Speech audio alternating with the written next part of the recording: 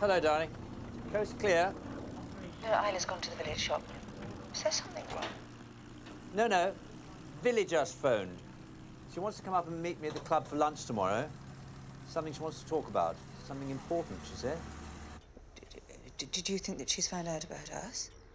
Oh, no, no, I don't think so. No, I'm sure not. I mean, how could she have? Oh, it's only lunch with Villy, and then she'll go back to Sussex. No, well, let's stick to our arrangement. I'll see you tomorrow, darling.